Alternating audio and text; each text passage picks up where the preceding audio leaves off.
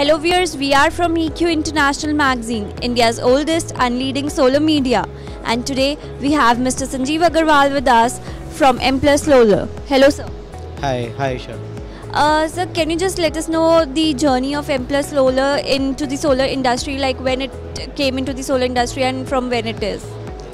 Amplus has been working in the solar industry uh, since 2014 and now we are the leading owner and operator of the distributed solar assets in the in the country.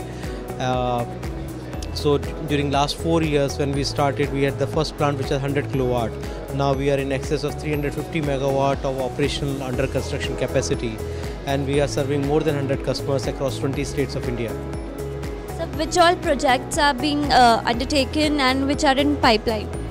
So we have done lot of uh, projects in the commercial industrial space. So we have more than 200 rooftop plants, and we have uh, approximately four or five large open access plants of uh, capacity exceeding 200 megawatt. So these are the number of plants that we already executed. So, what are your international plans?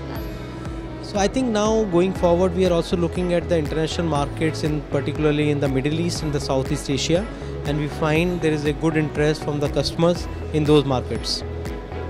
What's your market share like? How much uh, you have supplied till now in 2017 and 18, and what's the target for 2019 being set by? So I don't think we really go by the targets. We really want to do good business. So we work with good customers and not necessarily trying to chase the megawatts.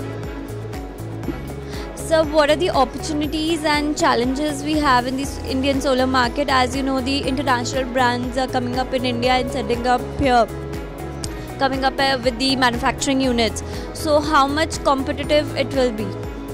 So it's a good thing that there are manufacturing facilities being set up in India, which is good from a manufacturing uh, promotion perspective overall in India. But we still have to see what the price and the quality of those manufacturers will be.